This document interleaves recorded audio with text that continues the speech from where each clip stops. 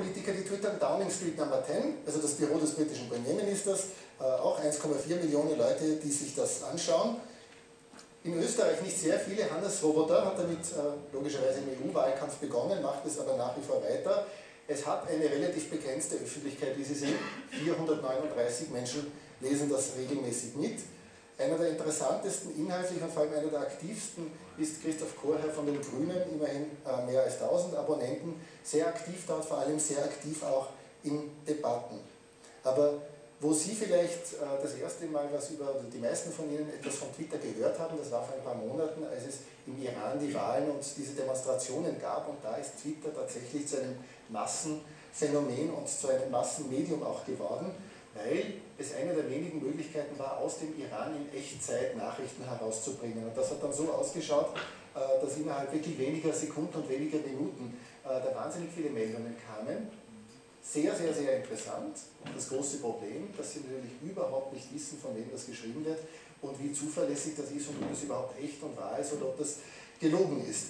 Äh, es war aber für mehrere Tage hinweg nahezu die einzige Informationsquelle aus dem Iran und es kamen wirklich unzählige Dinge. Sie können eben auf Twitter auch so eine Suchfunktion eingeben und wenn Sie dann nach äh, Iran Election gesucht haben und Leute, die aktiver twittern, wissen das, dass wenn sie wollen, dass man ihre Dinge findet, dass man dann eine so ein Stichwort dazu schreibt. Da fahren weg mit diesem Rautenzeichen und dann ein Stichwort dazu. Ähm, und wenn man das beobachtet und sieht, viele Leute schreiben zu Iran Election mit diesem Stichwort hinten drauf und sie wollen auch bei dieser Debatte teilnehmen, hängen sie dieses Stichwort hinten dran, kostet sie dummerweise zwölf Zeichen oder haben sie es nicht nachgezählt, also sie müssen noch kürzer dann twittern, aber das wird vom Text abgezogen und das kann dann gefunden werden und Sie können hier Live-Debatten im Internet verfolgen. Ganz, ganz spannende Geschichte. Dieser Mann, man nimmt an, dass es ein Mann ist, man weiß es nicht, ist berühmt geworden während äh, der iranischen Demonstrationen und rund um die Wahlen. Persian Kiwi galt als der zuverlässigste Twitterer aus dem Iran, hat so viel gemacht und auch sehr viele Dinge geschrieben, die überprüfbar waren.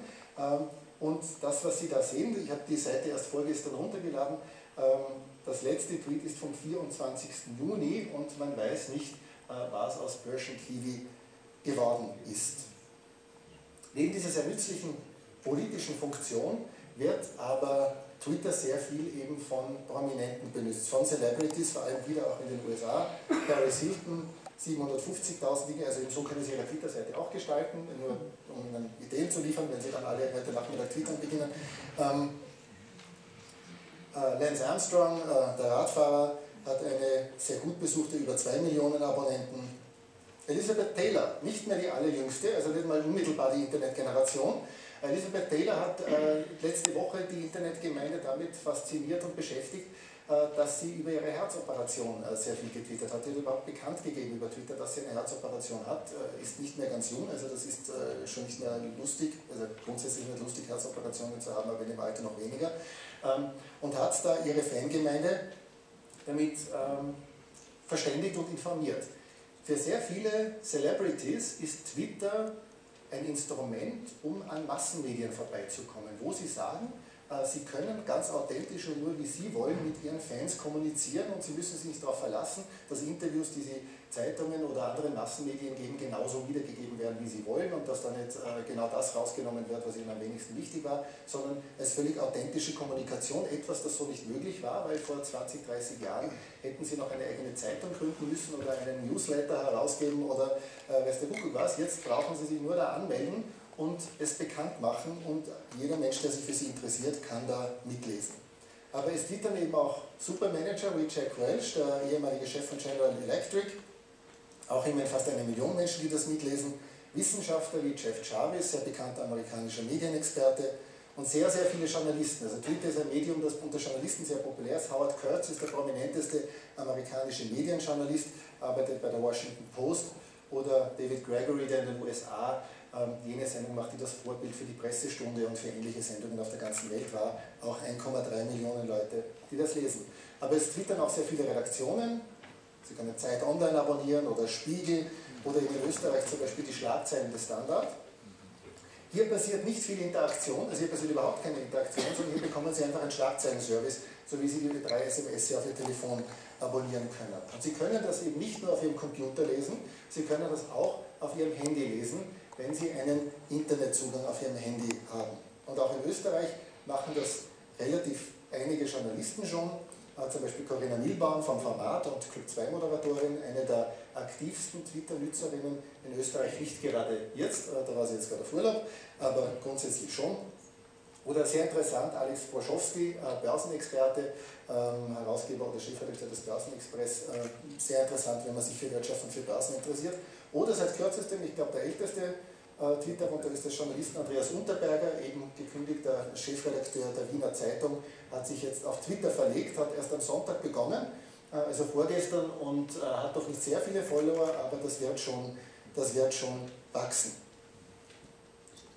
Hubert Zickinger, ein österreichischer Politikwissenschaftler, hochinteressant, äh, soweit ich weiß, der einzige Politologe, der momentan twittert, wenn Sie sich für politikwissenschaftliche Analysen interessieren, wahnsinnig interessant, vor allem er kommuniziert auch sehr viel, also er beantwortet sehr, sehr viele Fragen, ganz, ganz spannend. Ähm, was ist die Entwicklung der deutschsprachigen Accounts. Ich habe keine Statistik gefunden über Twitter-Accounts in Österreich, aber es ist wahrscheinlich relativ zuverlässig, wenn Sie die Zahlen einfach durch 10 dividieren. Also von den 240.000 sind wahrscheinlich etwa 20.000 bis 25.000 in Österreich. Ähm, und das ist nur die Entwicklung seit Mai. Also seit Mai hat sich das mehr als verdoppelt. Ähm, das ist äh, wirklich ein Medium, das, das sich ganz, ganz rasant entwickelt und ich hatte das Glück, dass ich eingestiegen bin ganz kurz vorher.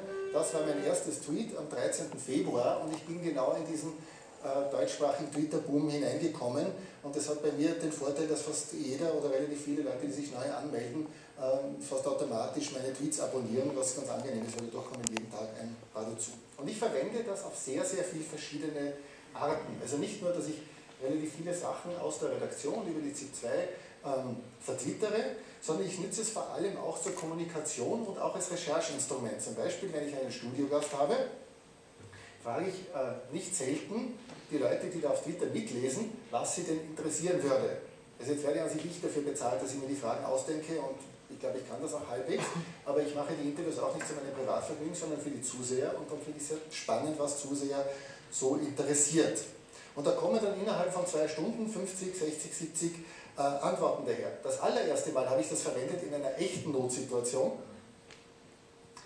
Ähm, Didi Konstantin wurde zum Nationaltrainer bestellt beim C2-Studio und ich bin wirklich völlig ahnungslos. Also mein Fußballinteresse hat aufgehört äh, 1977 oder 78, als Wacker Innsbruck noch sehr erfolgreich war äh, und ich glaube, Herr Konstantini da auch gespielt hat äh, und all die anderen, von Herrn Consilia bis zum äh, Bruno Betze und äh, ich glaube, Cordoba äh, war das letzte Fußballspiel, das ich live im Fernsehen gesehen habe. Und also solche Dinge stressen mich total, ich habe keine Ahnung, was ich den Herrn Konstantini fragen soll. Und das war wirklich nützlich, da kamen sehr, sehr viele Ideen. Und immer wieder verwende ich dann solche Fragen auch tatsächlich in Interviews, also wieder in der Albertina, der große Regeneinbruch war im Frühjahr, ähm, hat äh, der, Walter, der Walter Kröpchen, ein bekannter österreichischer Blogger und Musikproduzent, mir diese Frage geschickt, die fand ich großartig und die habe ich dem äh, Herrn Schröder auch gestellt. Und das war auch tatsächlich äh, der Höhepunkt des Interviews. Ich verwende es äh, tatsächlich auch um zu recherchieren. Zum Beispiel war Eva Klawischnik äh, vor dem EU-Wahlkampf, und relativ lange vor dem EU-Wahlkampf im Z2-Studio, und ich wollte sie befragen zur äh, Kandidatenliste der Grünen. Und diese Kandidatenliste war aber nirgendwo öffentlich zugänglich zu finden. Und ich habe dann äh, das vertwittert, wissend auch, dass unter Grünaffinen ähm, natürlich tendenziell eher mehr Internetnutzer sind, die Wählerschaft ist eher jünger, äh, die meisten Politiker in Österreich twittern sind Grüne. Äh, also meine Hoffnung, dass da jemand was wissen könnte, war ganz gut und tatsächlich kriege ich zehn Minuten später ein E-Mail äh, mit dieser Liste und das war schon äh, sehr praktisch. Es gibt immer wieder auch Diskussionen auf Twitter mit, äh, mit Menschen, die das lesen. Also wir hatten an seinem Amoklauf ein Studiogast und äh, ich habe vertwittert, wer da ins Studio kommt und dann äh, fragt eben äh, einer, wäre nicht Thomas Müller dann auch möglich und ich versuche dann zu erklären, ähm, warum, warum wir ihn nicht einladen. Und äh, ich benutze es auch immer wieder, um Feedback zur Sendung zu kriegen. Also ich habe einmal die Frage äh, gestellt auf Twitter, was könnten wir an der ZIP 2 äh, besser machen? Und da kamen wahnsinnig viele Reaktionen und das war ganz hochinteressant, auch sehr viel äh, freundliches Lob, also das war schon sehr interessant. Und ähm, das bringt letztlich genau das, was ich mir davon erhofft habe. Also zum einen, äh, ich merke tatsächlich, dass es zu Leuten, bei denen wir sonst Schwierigkeiten hätten, die zu erreichen, weil sie jünger sind, nicht so das typische Fernsehnachrichtenpublikum sind, äh, dass, dies, dass die plötzlich eine neue Bindung zur Sendung kriegen, dass die viel kommunizieren. Ich kriege auch sehr viele äh, Replies, heißen diese Antworten, die man da schickt,